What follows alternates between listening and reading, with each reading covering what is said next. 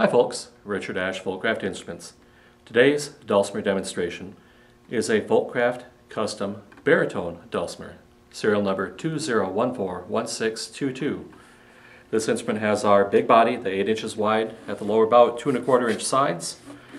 This instrument has a 29 inch scale, which is perfect for a baritone dulcimer. I wouldn't want it any longer, I wouldn't want it any shorter. It has the extra frets, 1.5, 8.5, dots at 3, 7, 10, 14. The Honduras mahogany body includes the back, sides, top, and the fretboard.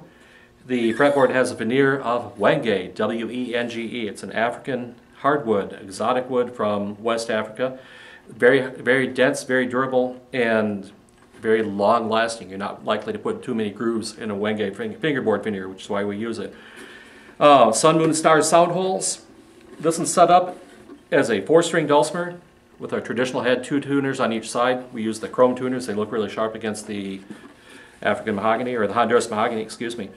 The tuning is AEA, which is pretty common for baritone dulcimers.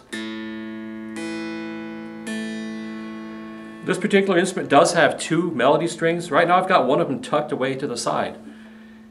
I am a player that really likes double melody strings.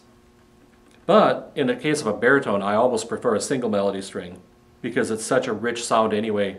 And that jangly twangly that you get with that double melody string, which I usually like, may not be my first choice for a baritone. So there's a fourth melody, a fourth string on here, the second melody string. It's just loosened and tucked off to the side of the fretboard right now.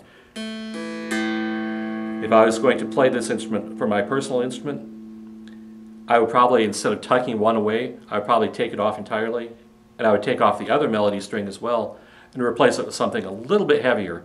So instead of having really heavy, medium, then two light strings, I'd have little, really heavy, medium, and one relatively heavy melody string rather than two lighter melody strings. I think that would give you a little bit better sound. But we, when you order this instrument, we can talk about how you play and what you, how you want it set up. We can make it, make it happen however it works for you. Anyway, AEA, two tunes, Shenandoah and Wildwood Flower. Shenandoah is more of a picker, which is going to really shine on a three-string baritone. Let's see what it sounds like.